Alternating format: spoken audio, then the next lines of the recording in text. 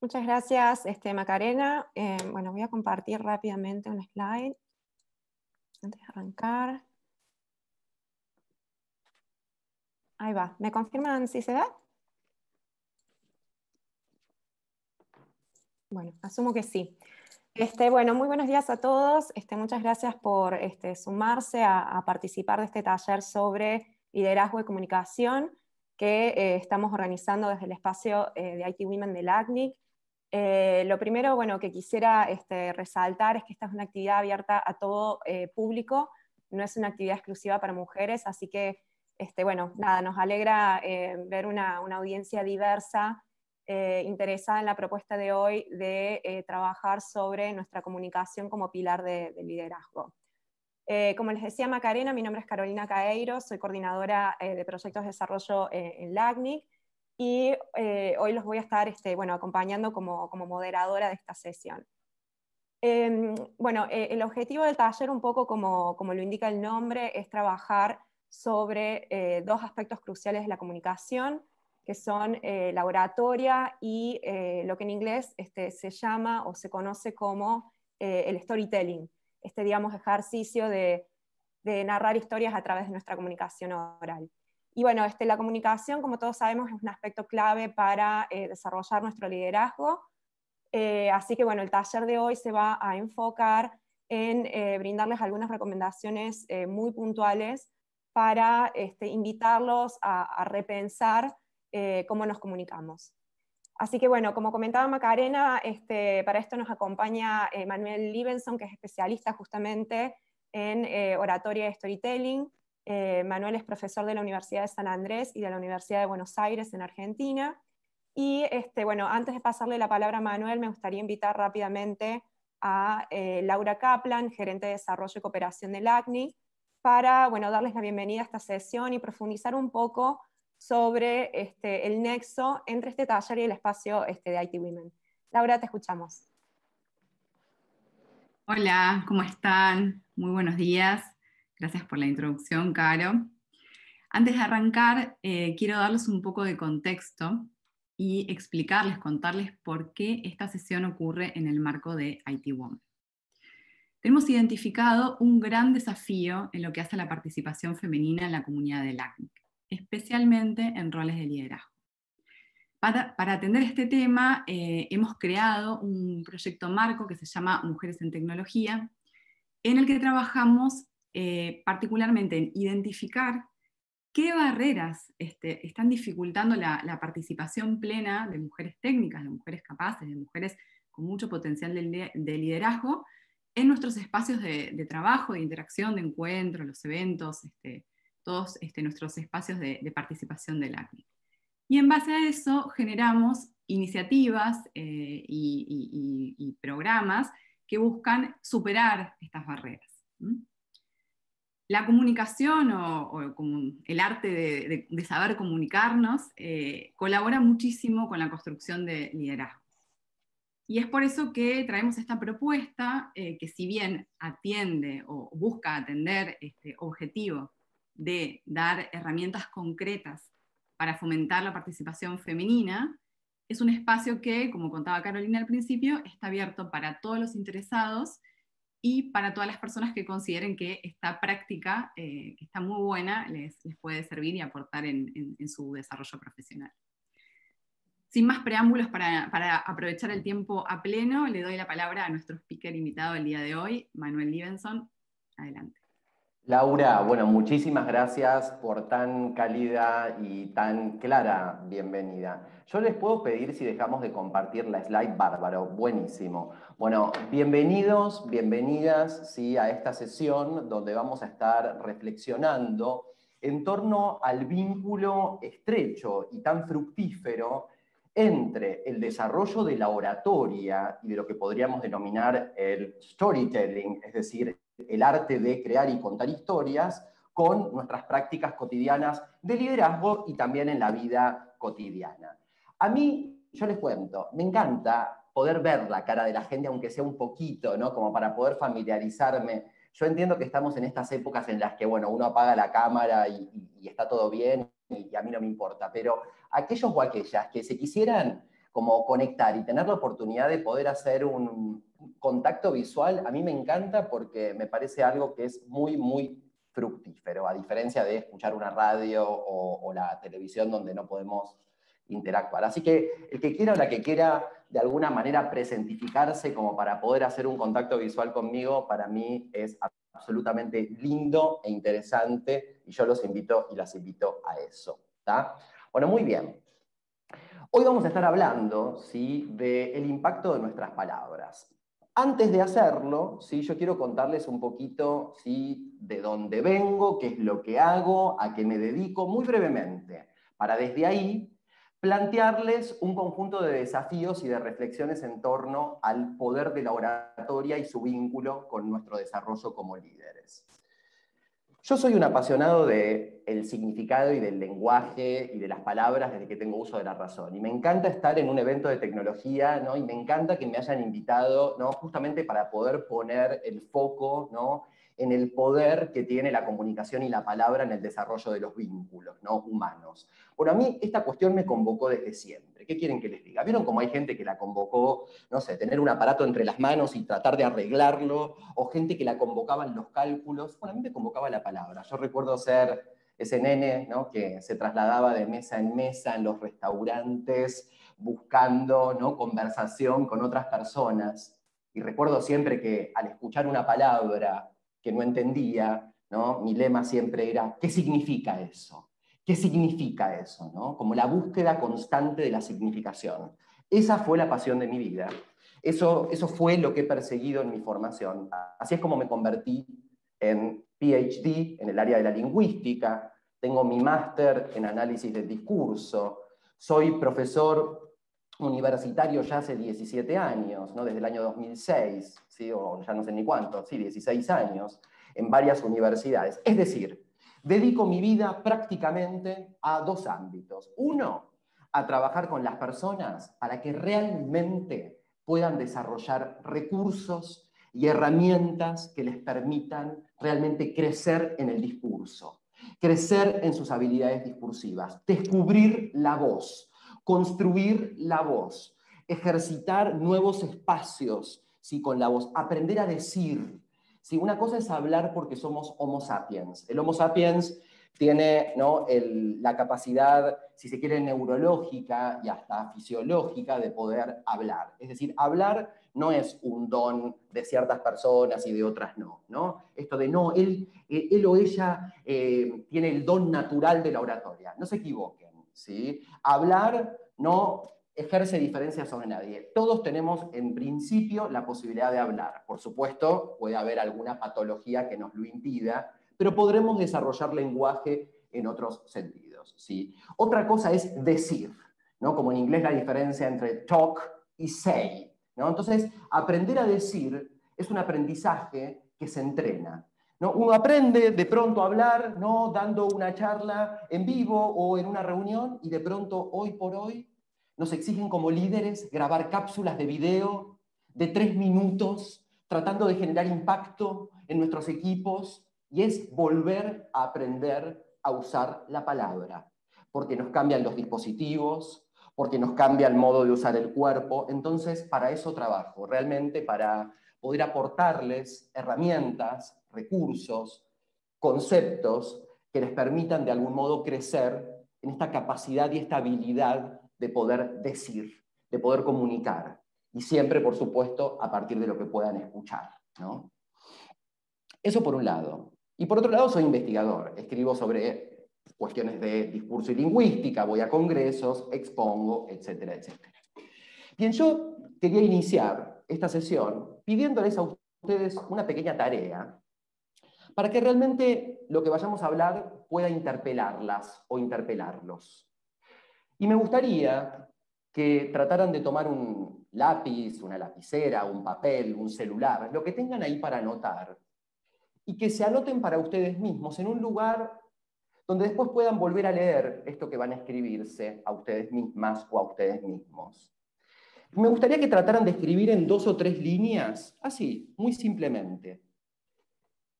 ¿Qué desafíos creo que tengo yo, ustedes, para crecer en lo que respecta a mi oratoria, a mi capacidad de comunicación usando el discurso, la palabra, mis recursos de expresión, cuando tengo que comunicarme con distintas audiencias, como líder. ¿Qué desafíos creo que tengo? Aunque sea uno. Si tuviese que plantearme un desafío para crecer, de acá a un año, ¿no? Siento que quiero tener más confianza, porque la verdad estoy temblando antes de dar una charla, quiero que me parta un rayo antes de empezar. Siento que cuando estoy hablando, a los 15 minutos de estar hablando, empiezo a ser aburrido. Siento que cuando hablo no tengo idea de si me escuchan, no me escuchan, y eso me hace perder confianza, entonces quiero aprender a tomar más confianza en la palabra. Siento que me muevo en un mundo de hombres y que no tengo espacio para poder decir lo que quiero decir y quiero crecer en desarrollar mi propia voz. Es decir, si uno pudiese afirmarse en un desafío que tenga que ver con crecer a nivel discursivo, y cuando digo a nivel discursivo me refiero a, en particular, a la cuestión de la oratoria, ¿no? al uso de los recursos discursivos y de palabra para tratar de generar impacto ¿no? y lograr estar con más confianza en los vínculos que, en los que participo ¿no? cotidianamente. Les voy a dar dos minutos, de verdad, ¿eh? dos minutos ¿sí? para que cada uno, cada una pueda tomar nota de ese desafío. Y me encantaría que me levanten la manito, aunque sea ¿sí? a través de alguna señal en pantalla, dado que el Zoom lo permite, cuando lo hayan hecho, ¿sí? para que cada uno tenga su desafío. Volveremos sobre eso al final de mi charla. Pero me gustaría ya que me gustaría ya que cada uno pudiese escribir un desafío que tenga que ver con una oportunidad de mejora. Entonces, cada uno escríbalo para sí mismo. Para sí mismo. No como algo que queda bien decir o que es un desafío para la humanidad. No, no, no. Un desafío para uno. ¿En qué me gustaría crecer? ¿En qué me gustaría nutrirme? ¿Dónde siento que tengo que reforzar mi discurso, mi oratoria? Y tener ahí eso, no como un desafío que me gustaría que cada tanto revisen. Por favor, les pido que me avisen, si es posible, alguna señal cuando hayan podido formular ese desafío.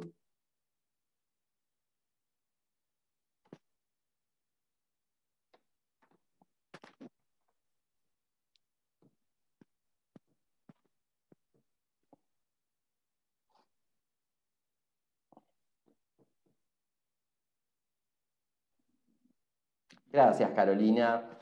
Fantástico. Váyanme avisando, Clara, Soledad, Trinidad.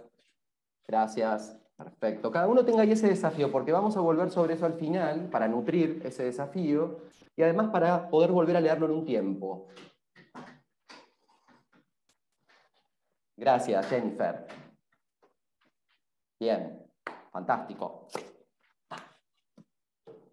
Vamos, algunos más, como para tener un poquito ahí a la mano. Fantástico.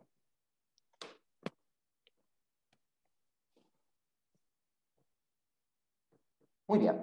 Bueno, muy bien. Cada uno vaya ahí concretando su desafío. Yo voy a empezar planteando aquí una cuestión que es fundamental, que es qué es lo que entendemos por oratoria, ¿verdad?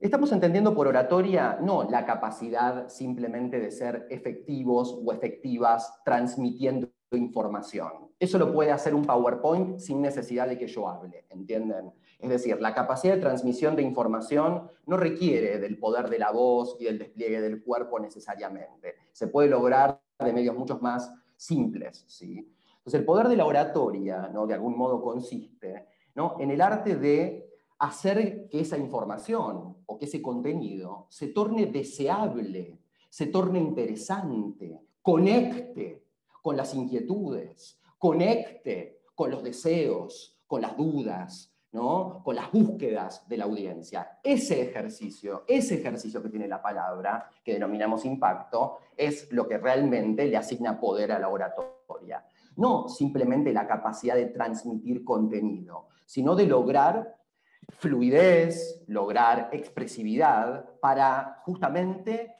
permitir conectar al auditorio, desarrollar la expectativa, desarrollar el interés, desarrollar la escucha, es decir, el arte de la oratoria consiste en la oportunidad que tenemos de agregar valor al otro a través de la palabra, permitiéndole desarrollar su sensibilidad, desarrollar su razonamiento, desarrollar su conocimiento. Entonces, eso es muy importante que lo tengamos en cuenta. ¿no? O sea, la oratoria tiene que ver con el uso de los medios de expresión, tiene que ver justamente con lograr crear distinto tipo de experiencias de escucha. No es lo mismo una charla motivacional que estar dando una clase, que estar contando una historia para enseñar algo, ¿no? El lograr a través de la palabra llevar a la audiencia por distintos tipos de experiencia, ¿no? Todo eso hace a la oratoria, el arte de crear un impacto en el otro a través de un contenido, un impacto emocional, un impacto cognitivo, ¿no? Y para eso ¿no? el poder de la palabra nos suma tanto en una presentación. Por eso seguimos haciendo presentaciones. Por eso tenemos que abrir la boca todavía en el lanzamiento de un producto y no lo hace todo la inteligencia artificial. Porque nuestra palabra ¿no? nos permite conmover, nos permite hacer razonar, nos permite trabajar con la inquietud. Entonces, para eso ¿no? es importante que logremos hablar sobre esa información que queremos transmitir. Y por otro lado, tiene un, impacto trabajar sobre la oratoria muy fuerte en el líder, porque le permite desarrollar confianza en la palabra, le permite desarrollar la autoestima, le permite desarrollar la versatilidad de la voz. Si no es lo mismo comunicar en un video de un minuto que en un podcast. Hoy los líderes estamos convocados cada vez más a trabajar en formatos de audio, en podcast, es decir, la adaptabilidad permanente, ¿no? es decir, el impacto que tiene, el impacto que tiene la oratoria en el desarrollo del liderazgo, volviéndonos más versátiles, más dúctiles, con mayor plasticidad comunicativa para saber adaptarnos a distintas situaciones. Así que en ese punto yo los invito y las invito a que profundicen en este tipo de trabajo más allá de estos 40 minutos en los que podamos poner desafíos sobre la mesa. Y ahora sí, yo quiero traer a la mesa desafíos, desafíos que tienen que ver con problemas. Este es el objetivo de mi charla. Poder plantear desafíos que tenemos por delante en relación con problemas habituales y espero poder darles algún tip o alguna recomendación práctica para poder trabajar con estos desafíos. En primer lugar, creo yo que tenemos un desafío que tiene que ver con el diseño. ¿Cómo diseñamos nuestras presentaciones? ¿Cómo diseñamos nuestras charlas? ¿Qué decisiones y qué metodologías implementamos para diseñar una presentación con cierto impacto? Quiero que sepan que en general acá apelamos a metodologías muy pobres, porque estamos más pendientes de la información y de los datos que queremos transmitir que de la experiencia que queremos crear. Realmente, ¿eh? que de la experiencia que queremos crear. Entonces, ¿qué hacemos a nivel diseño? En general, porque no estamos pensando en la experiencia, estamos pensando en el contenido. Entonces, claro, abrimos un PowerPoint y nos ponemos a mandar info, info, info, info, info, info, info. Claro, después que tenemos situación de orador leyendo el PowerPoint uno tras otro, ¿sí? como una especie de ayuda a memoria donde uno lo único que hace es repetir lo que el espectador ya puede leer en pantalla y encima con mucha información. El orador como termina no acoplado ¿no? en la danza con el contenido, porque simplemente mandó todo el contenido ahí pensando que bueno, se trataba de poner el contenido en la pantalla y de transmitir contenido. Pero claro, resulta que del otro lado ¿no? Bueno, no despertaste la expectativa, la gente comienza a verse de algún modo agobiada por el exceso de datos porque no puede renovar su atención, no puede reconectar con otra zona del tema, que no sea simplemente el procesamiento de datos cual máquinas que no sienten. Entonces, claro, todo esto nos ha invitado a repensar el paradigma del diseño. Ya no podemos pensar más como líderes nuestras charlas, nuestras presentaciones, desde un paradigma que tenga que ver con la transmisión de datos. ¿no? Paradójicamente, con la transmisión de información. El paradigma hoy me parece que, y que además es mucho más rico, por suerte, tiene más que ver con diseñar una experiencia comunicativa. Vos cuando hablas, cuando presentás, cuando hagas lo que hagas, vas a estar diseñando una experiencia comunicativa a través de la cual obviamente vas a transmitir un contenido, eso ya. Pero el mismo contenido uno puede acceder a él desde muy diversas experiencias comunicativas. Y acá los invito a pensar en ese profesor o esa profesora de matemática que todos tuvimos en algún momento y que te hizo amar la matemática. Y ese otro profesor que te hizo odiar la matemática con el mismo contenido, ¿verdad? Es decir, que no pasó por el contenido la experiencia inolvidable, sino por el modo ¿no? en que justamente esa persona pudo generarte una experiencia deseable, atractiva, interesante, convocante con ese contenido. Entonces es muy importante ¿no? empezar a cambiar lo que se denomina el mindset, ¿no? el mindset, la mentalidad que aplico al momento de diseñar o planificar una presentación. ¿Estoy pensando solamente en información y datos o estoy pensando en cómo voy a hacer para con estos datos, con esta información, convocar la atención, hacer pensar, dejar un takeaway, ¿no? traer a la mesa un challenge? Es decir, todo lo que no tiene solamente que ver con la información, sino con ir convocando la atención. Piénsense como receptores, realmente uno está con el cuerpo vivo adelante del orador. ¿eh? O sea, uno siente reticencia, uno siente ganas de seguir escuchando, uno podría estar horas, ¿no? muchas veces siguiendo un orador. Entonces, claramente cuando uno habla en público, cuando uno convoca la oratoria como elemento fundamental para relacionarse, está en juego la expectativa, está en juego el deseo del otro lado. Entonces, ok, ¿cómo hago ¿no? para plantearme nuevas ideas que me permitan diseñar una experiencia más rica y no simplemente un soporte que lo único que hace es transmitir información? Con todos los problemas que tiene esto, y acá, vieron, traigamos a la mesa esto porque realmente, ¿no? ¿Cuántos de nosotros vamos a congresos y vemos ¿no? que te ponen un choclo en la pantalla lleno de texto durante 20 slides seguidas y uno realmente por dentro dice, me quiero pegar un tiro en la garganta con esto.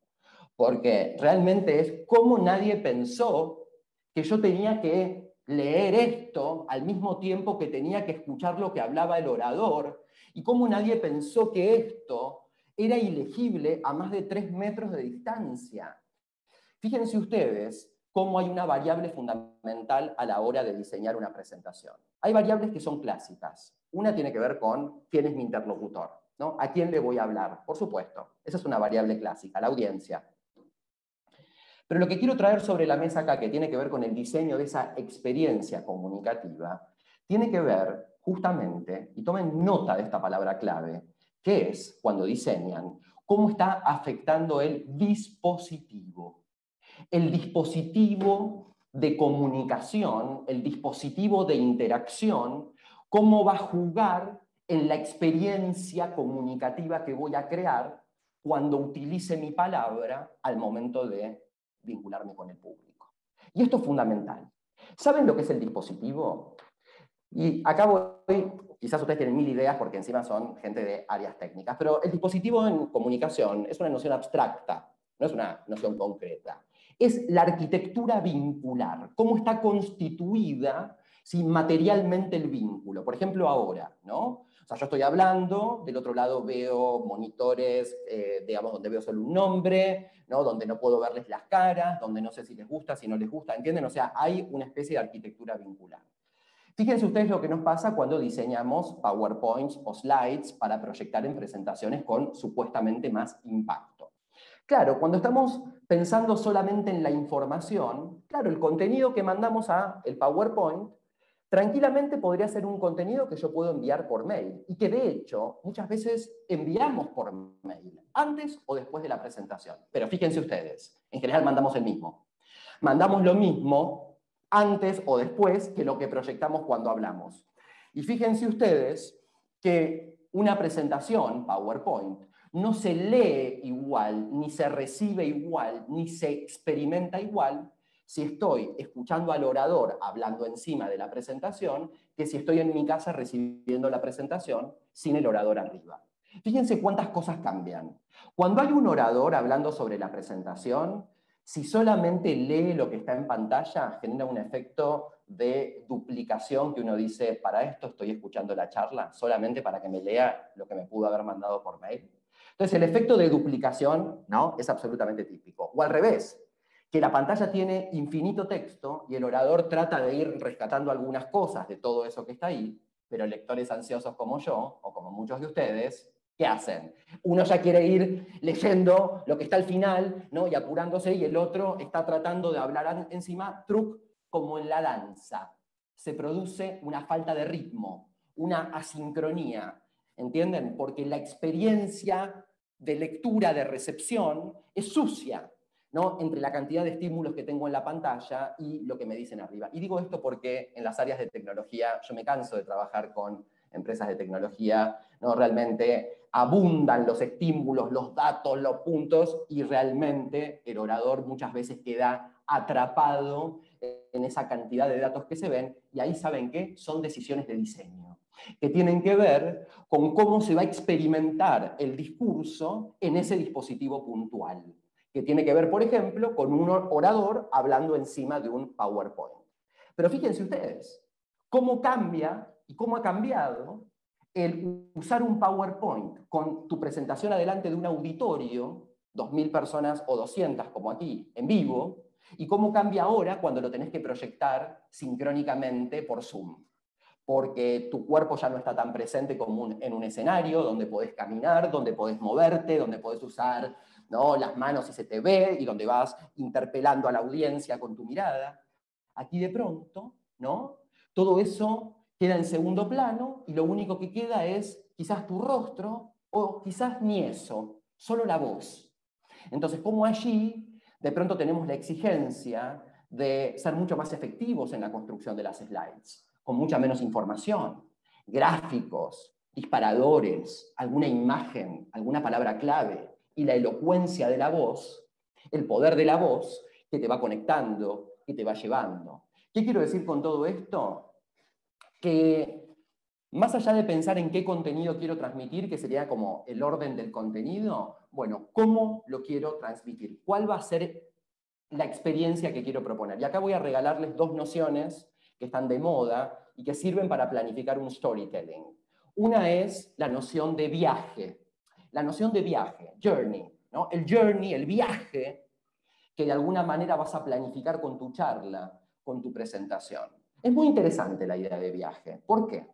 La idea de viaje es interesante, primero porque te obliga a preguntarte a dónde querés llevar a tus receptores, a dónde te gustaría acercarlos, cuáles serían las ideas a las que te gustaría ¿no? acercarlos, comunicarlos, esta idea de llevar, ¿no? de llevar y de llevar porque uno va a trabajar con la atención, con la expectativa, con el deseo, ¿no? con las ganas. Entonces digo, diseñar un viaje ya me abre ¿no? un mindset que tiene más que ver con cómo voy a hacer para llevar a mi receptor por cada uno de los puntos de mi recorrido, convocando su atención y renovando la escucha para que no se me muera en el medio de la presentación. La idea de viaje.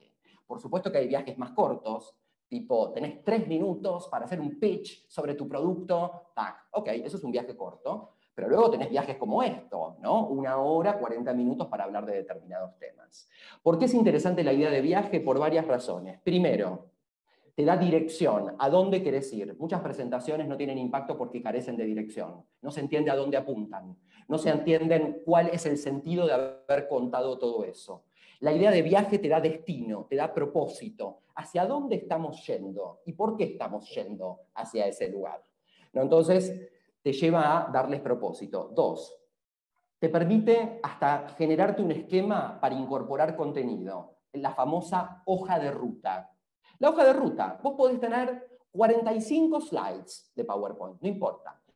La hoja de ruta es el esquema de postas, postas, como las postas de unas vacaciones. Como si alguien te preguntara, ¿te has ido de vacaciones el año pasado? Sí. ¿A dónde te fuiste? Hice un viaje por Europa de tres meses. Ay, ¿no me lo resumes en cinco minutos? Y uno podría resumir un viaje de tres meses en cinco minutos, porque uno tiene internalizado el recorrido experiencial ¿sí? asociado a cada momento de ese viaje.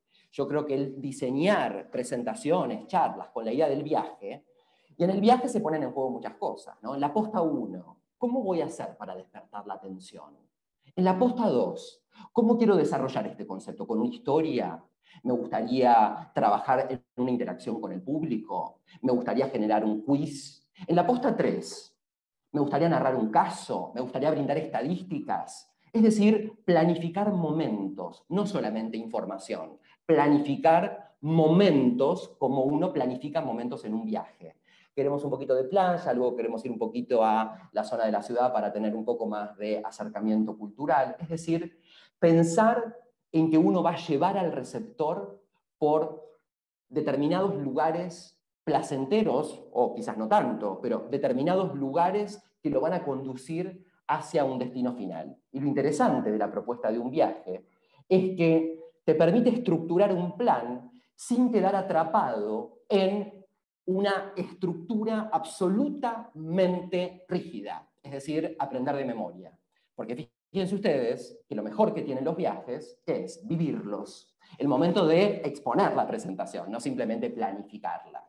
Por eso digo ¿no? que también desarrollarnos como oradores no es solamente diseñar viajes interesantes y ricos, sino también el poder tener esa capacidad de apropiarnos, de improvisar, ¿no? de poder ir y venir de esas postas sin perder el tren, ¿no? porque tenemos que llegar a, a puerto, pero al mismo tiempo permitiéndonos ciertas flexibilidades que tienen que ver con lo que aparece en el presente. Me parece muy importante y muy interesante pensar qué viaje quiero construir, cuál va a ser mi punto de partida, por dónde quiero pasar y hacia dónde quiero llevar. Otra idea que está muy de moda para planificar, un desafío tan simple como este. ¿Cómo hago para darle a esta información forma de relato, forma de historia? Algo tan simple como eso.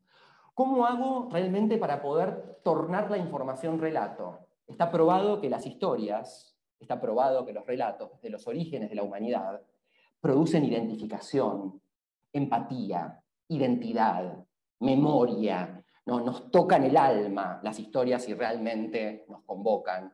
Entonces, creo que hoy tenemos un desafío de decir, bueno, ok, tengo toda esta información asociada a los resultados del proyecto. ¿Cómo hago para darle una forma ¿no? que tenga más que ver con un relato y una historia? Bien, tres, cuatro, si ahora después les voy a dar para que también puedan, tal cual dice Clara, para, para, preguntar. Tres, cuatro ideas sobre el contar historias. Si quieren pensar el contenido como una historia, no se olviden de estos tres tips. Introducción, nudo y desenlace. Las historias tienen tres funciones distintas. Hay algo que ocurre en la introducción, hay algo que ocurre en el nudo y hay algo que ocurre en el desenlace. Las historias no son bueno, les voy a contar un poco el proyecto que estamos llevando a cabo. Resulta que eso no es una historia. ¿sí? O sea, una historia nos despierta el interés, una tiene una cierta lógica. ¿no? Entonces, introducción, nudo y desenlace. Si uno quiere darle forma de historia, ¿no? ¿Verdad? Porque uno considera que el trabajar desde la historia lo conecta a uno con una verdad más interna, porque el trabajar bajo la forma de historia sentimos que nos permite una aproximación más sensible a nuestro público. Bueno, tener tres conceptos claros sobre cómo construir una historia. ¿no?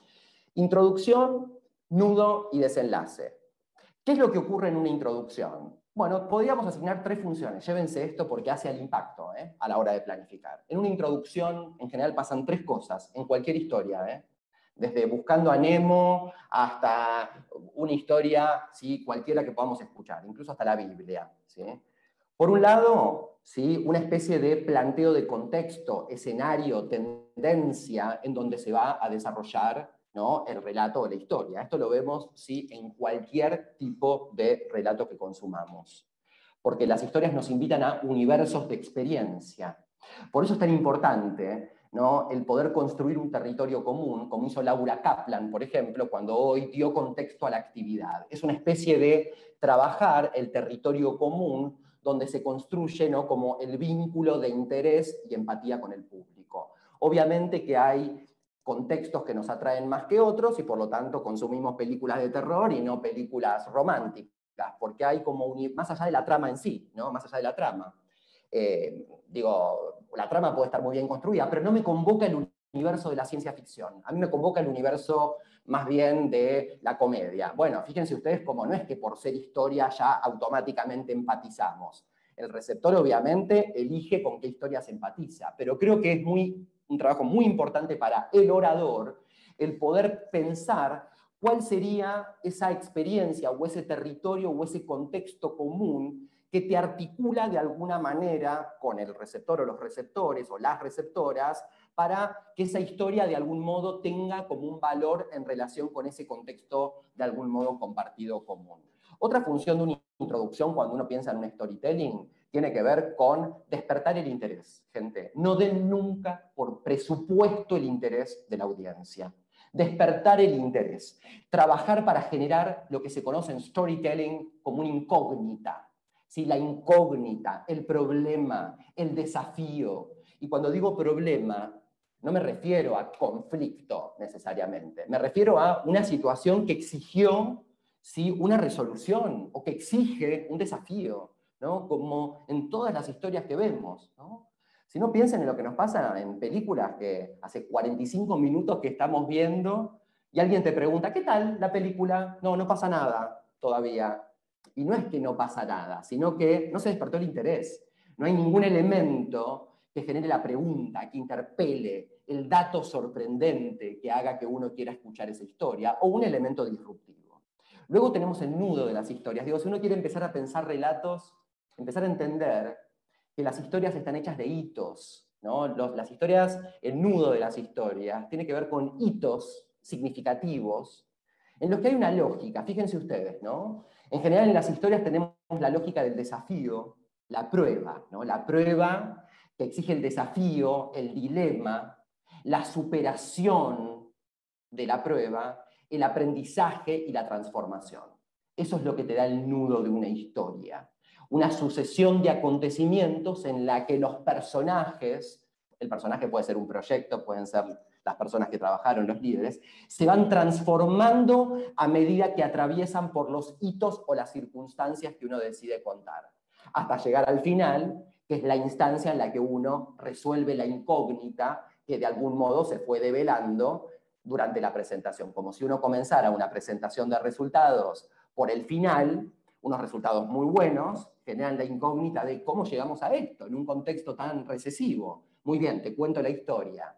Y sobre el final, y sobre el final, ¿cuál es la función de un final en una presentación? Digo para que se lleven ya tres tips claros para volver mañana a una presentación y empezar a hacer cositas con esto, ¿no?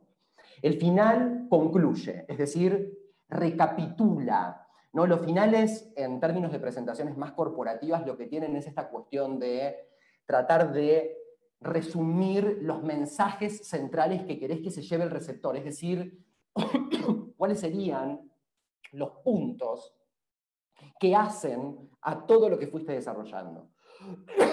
Perdón. Segunda función de los finales en todas las historias. Dejarnos enseñanzas, dejarnos aprendizajes, dejarnos, hoy se conoce como takeaways. En conferencias TED lo llaman gift, cuando planeas una presentación, ¿cuáles son tus takeaways? ¿Qué querés que se lleve la gente? ¿Qué querés que se lleven tus interlocutores? ¿no? ¿Qué aprendizajes? Y también los finales son una instancia, como cuando vemos una serie de televisión, para seguir trabajando sobre las expectativas del público. Uno puede dejar los finales abiertos, sembrando preguntas, nuevos challenges, nuevos desafíos que hacen que no se cierre la instancia de presentación, sino que se abre la posibilidad de continuar ¿no? con nuevos storytellings. ¿sí? Entonces eso es más como pensar algunas cuestiones ahí de diseño. Y ahora sí quiero decir dos, tres cositas que tienen que ver ya no con el diseño, sino con cuestiones que tienen que ver principalmente con la performance. Es decir, en inglés lo llaman delivery. El delivery de mensajes, tan importante ¿no? para seguir creciendo como oradores. ¿Qué quiero decir con esto? Que si uno quiere crecer en oratoria y en comunicación, tiene que crecer también en herramientas de planificación. Es decir, ¿cómo soy como guionista? ¿Tengo herramientas para generar una historia más o menos consistente o en general soy más bien data-centric y no pienso el relato? ¿no? Entonces eso ya de por sí es un desafío para mejorar como oradores, pero después viene el desafío de la performance. Es decir, ese momento donde tengo que exponer mis ideas. Y ahí quiero que sepan que hay muchas cuestiones muy problemáticas en la performance, trabajadas y a trabajar, que tienen que ver con la confianza en la propia palabra. ¿no? La confianza en la propia palabra. Uno de los grandes problemas para desarrollarnos como oradoras o como oradores es que sentimos que nuestra palabra o no va a tener valor, o que va a ser evaluada, o que va a ser juzgada, o que no me la creo. Y entonces, claro, ¿cómo uno va a poder lograr impacto si uno mismo quisiera no tener que pasar por esa situación antes de tener que hablar? se nos acelera el corazón, se nos transpiran las manos, ¿entienden? Es decir, pasamos por situaciones que lejos de permitirnos estar en conexión y en comodidad con lo que queremos decir, nos enajenan, ¿no? nos alejan de esa situación. Entonces yo creo que uno de los grandes challenges para desarrollarnos como oradores u oradoras es trabajar para poder generarnos una especie de mindset de mayor confianza. Y yo creo que acá hay algunas cuestiones a pensar.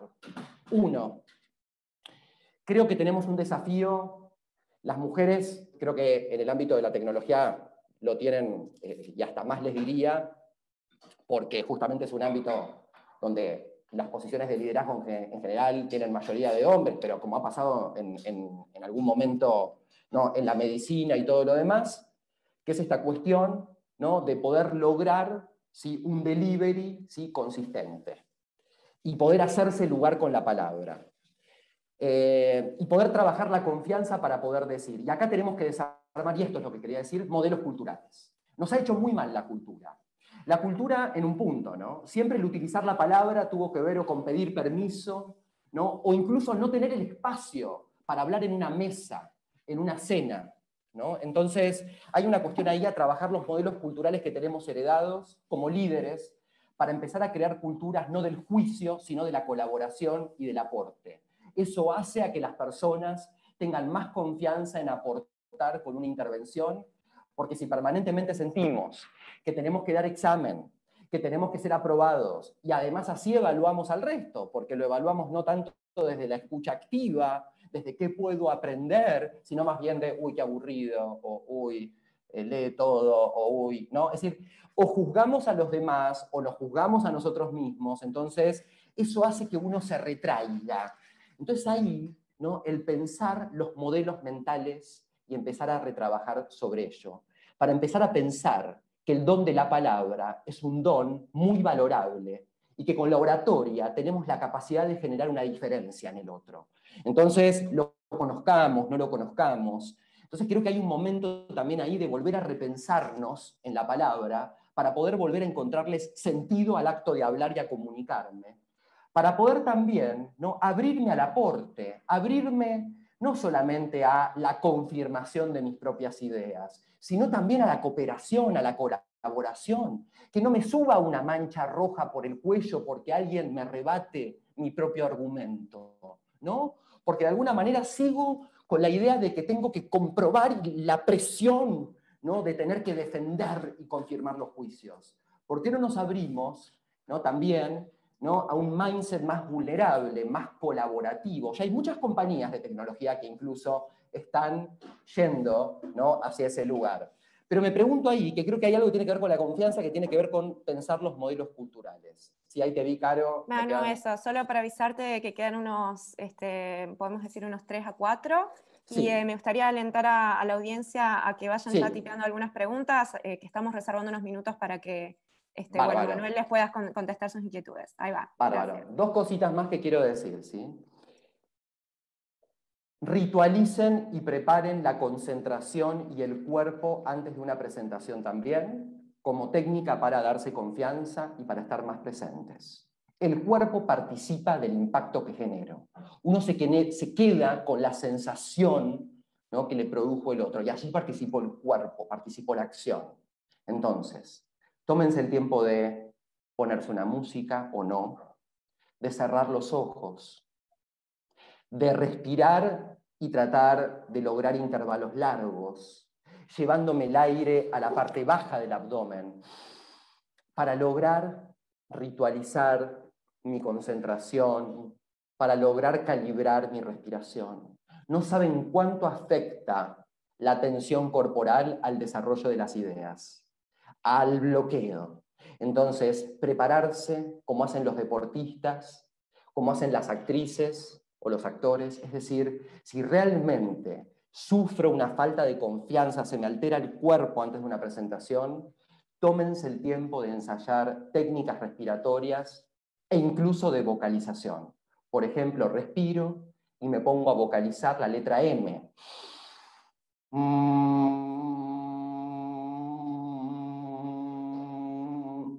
Sí, o sea, trato de vocalizar, de extender, de probarme. De estar presente con la voz, es decir, eso es fundamental para estar más en control, para estar más en conexión. Solo voy a decir dos cositas más y, con esto cierro. Creo que tenemos grandes desafíos de aquí en adelante como líderes, y siempre los tuvimos, pero hoy más que nunca porque se han multiplicado, desafíos que tienen que ver con la expresión, con la expresión. Es decir, el aprender a desplegar los recursos, el tono, el ritmo, el lenguaje corporal, es decir, los recursos que participan de la expresión en distintas claves, ¿verdad? Fíjense los niños y las niñas, cuando les gusta un cuento, piden el mismo cuento todas las noches. Se saben la información, se saben absolutamente toda la trama, sin embargo te quieren escuchar comprometido, como con embodiment, ¿no? es decir, la corporización, la construcción del clima, de la pasión, de la convicción, de la puesta en juego del cuerpo. Y es muy importante acá, les quiero dar algunas cuestiones a pensar por el poco tiempo que tenemos, que yo los invito y las invito a no entrenar el lenguaje corporal y la expresión simplemente pensando que hay una forma de usar el cuerpo de manera efectiva. Más bien pensar cómo trabajar con el cuerpo en función de los dispositivos con los que interactúo. Por ejemplo, hoy estamos hablando a cámara. Y alguien me decía allí, ay, pero ¿qué pasa? Que no puedo eh, sentir el feedback de la audiencia si hablo a cámara, ¿cómo hago para saber si estoy sosteniendo la atención? Bueno, en un dispositivo como una cápsula de video, no vas a saber si estás sosteniendo la atención, como tampoco sabes si estás sosteniendo la atención un conductor de radio. Fíjate vos, ni tampoco un conductor de televisión. Simplemente se va enterando por los twitters o porque controla después cuánta gente estuvo escuchando la radio durante tanto tiempo, o incluso por encuestas o por otro tipo de medios que traten de evaluar el feedback. No por eso el conductor de radio o la conductora de televisión son menos interesantes. De hecho, ¿quién no ha sentido con la voz. ¿eh? La voz, aquí en, Argentina, Alejandro Dolina, ¿no? un gran conductor de radio, cada uno en su país tendrá el suyo. ¿no?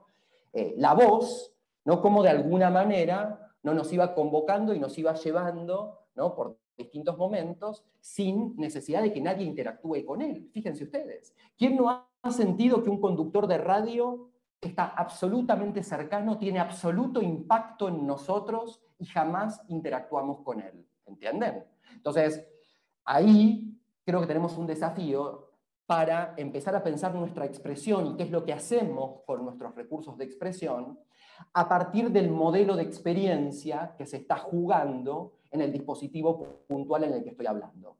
¿Saben por qué? Porque si no nos volvemos nostálgicos de las viejas formas. Es decir, habla, ah, yo antes lo podía ver en público y me daba cuenta si la gente sacaba el celular o si la gente me miraba o no me miraba. Ahora no lo puedo ver.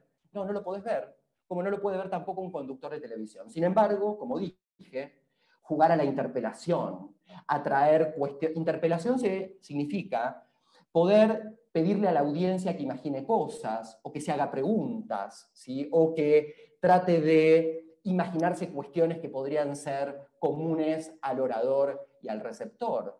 ¿No? Fíjense ustedes cómo el poder de la interpelación funciona igual.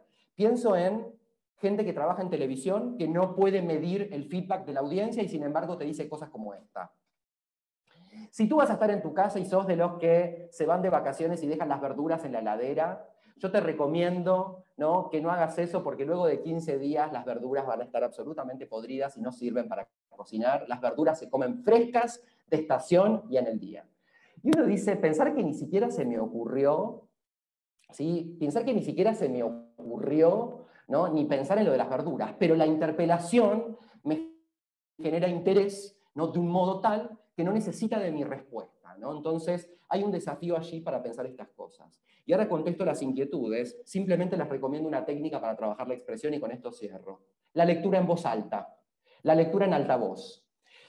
Practiquen con discursos inspiradores que les encanten. Nelson Mandela, Gandhi, Practiquen con discursos instructivos, practiquen con cuentos y leyendas y van a ver cómo pueden desplegar la expresión con distinto ritmo, con distintos matices, con distintos tonos. Así que les recomiendo que ejerciten esto, ¿no? como si yo leyera el instructivo de emergencia arriba de un avión y digo, a continuación y cumpliendo con regulaciones de la aeronáutica civil, les demostraremos el uso del equipo de emergencia.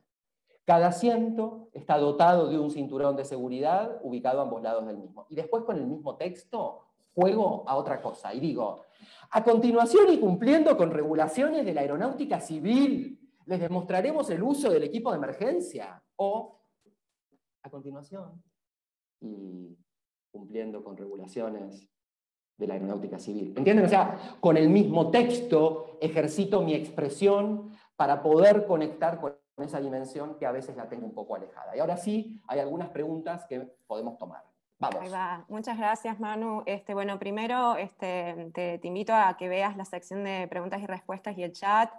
Em, los participantes en realidad no pueden prender su cámara ni levantar la mano, ah. eh, pero este, nada, ya con los mensajes que estamos viendo en el chat estuvieron escuchando muy atentamente. Tenemos de hecho 194 este, participantes en este momento, este, de inicio a fin, así que seguramente este, nada, creo, que todos coincidirían que, que los atrapaste este, con éxito.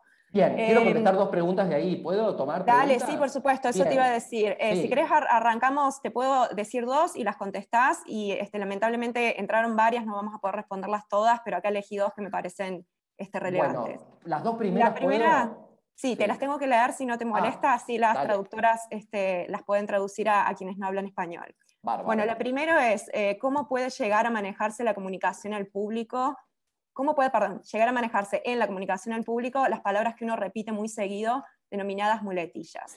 Bien, fantástica pregunta. Ah, vamos con esa primera, si querés. Y, eh, ¿O querés que haga la segunda también? Vamos con esa, así vamos intercalando. Fantástica pregunta, ¿sí? ¿Cómo lograr ¿no? mayor fluidez y no tener esa sensación de que uno permanentemente está como en un camino de pozos ¿no? donde se me traba el habla? Quiero que sepan que las muletillas no es algo malo, las muletillas es un mecanismo del inconsciente para reparar un gap, una especie de puente de vacío que se produce entre la idea y la palabra, o porque no encuentro la palabra, no tengo la idea pero no me viene la palabra, o al revés, ¿no? Eh, vengo bien con las palabras pero perdí el hilo y entonces necesito rellenar con la muletilla. Bien, doy algunas o alguna recomendación con esto grábense con el celular, ¿sí? agarro el audio del celular, me grabo, y grábense en distintos ritmos, empezando bien lento, es decir, tratando de encontrar como si fuesen gotas la palabra justa, sin necesidad de agradar, sin necesidad, ¿sí? como si yo dijera, bueno, ok, hoy vengo a presentar un proyecto que hemos desarrollado a lo largo de los últimos cinco meses. Lo primero que debo decir, ¿entienden? Yo ahí hubiese dicho, eh, ¿entienden? Entonces ahí freno. Luego me grabo a un ritmo un poquito más fluido, pero ya habiendo pasado por las ideas lento. Me grabo a un ritmo más fluido y si necesito lo hago dos o tres veces, hasta crear lo que en conferencias TED llaman el efecto feliz cumpleaños. El efecto feliz cumpleaños es esta idea de que uno puede tener un ataque de pánico y uno que lo cumpla feliz, que lo, o sea, uno puede, ya se internalizó. Esto no es hablar de memoria, sino el poder justamente escucharse en distintos ritmos, hasta llegar a lo que en TED también recomiendan, el por dos, al doble de velocidad. Hoy estamos aquí para presentar un taller que va a trabajar sobre distintos desafíos, desafíos que tienen que ver con el diseño, desafíos que tienen que ver con la expresión y desafíos, ¿entienden? Cómo poder lograr alterar los ritmos. Eso se llaman ejercicios de fluidez. Empiezo lento, como si fuese un cuento de suspenso. Hoy vengo a traer una idea sensacional. Y después, hoy vengo a traer una idea sensacional. Y después, hoy vengo a traer una idea sensacional. Hoy sí, así más a lo largo. Eso es una excelente técnica, porque esto se, de algún modo se va resolviendo cuando uno va encontrando un ritmo que me permite estar más cómodo para encontrar la palabra. En general tiene que ver, o me lo quiero sacar de encima, o entro en un acelere o una inercia que no me permite encontrar la palabra justa. Así que esa es una cuestión. Y la otra cuestión es aprender a encontrar distintas maneras de decir las cosas para no siempre repetir las mismas palabras. Y esto creo que se junta con lo que viene en la segunda pregunta. ¿Lo querés leer, Caro? Dale, sí, la segunda pregunta en realidad es de Rolando Rojas eh, y este, bueno, la voy a resumir un poquito. ¿Cuál es la mejor forma de transmitir, digamos, para personas del ámbito técnico, eh, contenidos técnicos a gerentes o personas que no conocen, eh, bueno, nada, elementos propios de la profesión, ¿sí? Este, así que vamos con esa, mano.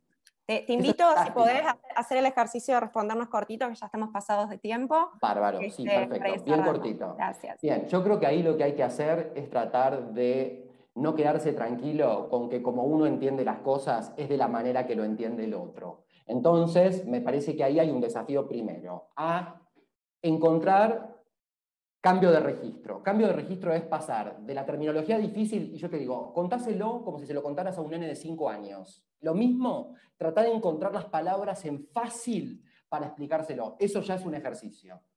Te doy algunos recursos. Historias te acercan. Analogías. Los médicos te explican la hernia de disco con el alfajor de dulce de leche. Imagínate un alfajor de dulce de leche que lo apretás para abajo y sale todo el dulce de leche hacia afuera. Bueno, así tenés la columna en este momento, ¿no? Analogías, historias, comparaciones, permitirle a las personas hacer asociaciones. El lenguaje técnico muchas veces es cerrado y nos genera muchos problemas de comunicación porque las personas no pueden generar asociaciones. Entonces, desde historias, analogías, ¿no? Eh, traer experiencias o situaciones que la persona pueda reconocer, buscar un, vocabulario simplificado. El ejercicio de esto, contáselo a un niño, ¿no? ¿Qué es lo que haces en tu trabajo? O este proyecto que van a implementar, si se lo, de, no sé, de Big Data y de inteligencia artificial, si lo tenés que contar en una escuela para chicos de 8 años, ¿cómo lo contás?